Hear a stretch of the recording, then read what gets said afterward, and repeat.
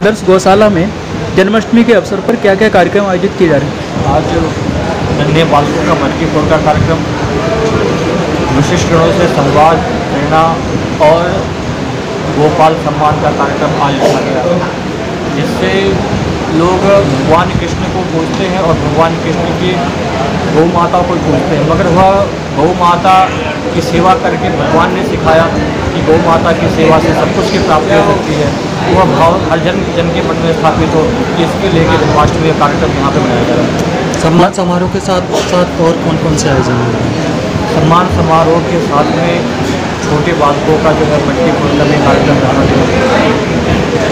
महाराज इस गौशाला में जैसा कि भी बताया सात हज़ार से ऊपर गाय रहती हैं जिनकी सेवा बहुत अच्छी तरीके से की जा रही है। लेकिन हम ये देख रहे हैं कि बाकी शहर में जो एक गौशाला है गो, गो, गोले के मंदिर पर जिसकी मैंने कई बार खबरें भी छापी हैं और उसको लेकर के कई गौसेवक मुद्दे उठाते रहते हैं लेकिन देख रहे हैं गौशाला वहाँ पर स्थिति बहुत खराब है। वो गौशाला यहीं पे स्थापित होने जा रही है। उसका नगर निगम के द्वारा टेंडर भी हो गया है।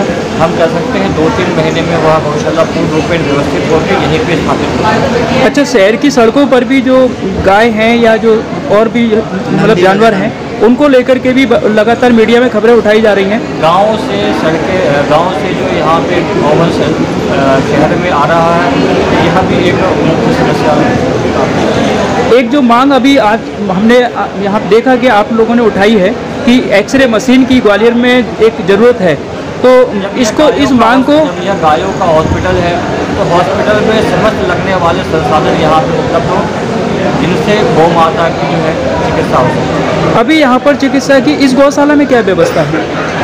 अभी चिकित्सा के लिए यहाँ पे 25 डॉक्टर की नियुक्ति है मलहम पट्टी की दवाई की सब व्यवस्था है मगर उसको डायग्नोज करने की जो मशीनों की आवश्यकता है उसका अभाव है। क्या आपने मुख्यमंत्री को या कि, किसी संबंधित मंत्री को इसका कोई पूर्व में यहाँ से पत्र जा चुका है कि यह डिस्पेंसरी है इस डिस्पेंसरी को पॉलिंग क्लिनिक के रूप में स्थापित किया है ठीक है